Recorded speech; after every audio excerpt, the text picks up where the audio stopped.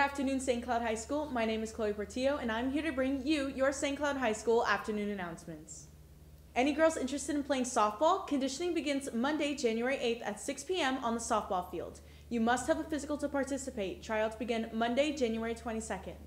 The boys weightlifting team will start practice next week. See Coach On for more information. Boys basketball defeated Toho tonight, 75 to 57. Alex Springs had 22 points, Diomar Ortiz had 14 points, and Josiah Cotto had 10 points. The Bulldogs return to action tonight at Celebration. Boys soccer beat Star Athletes Academy 5 to 3. They host Forest Lake Academy tonight. Girls basketball will travel to Kissimmee tonight to take on Osceola. JV starts at 6, followed by varsity at 7:30. And that's all that we have for today. Make sure you stay bundled up and have a fantastic Bulldog day.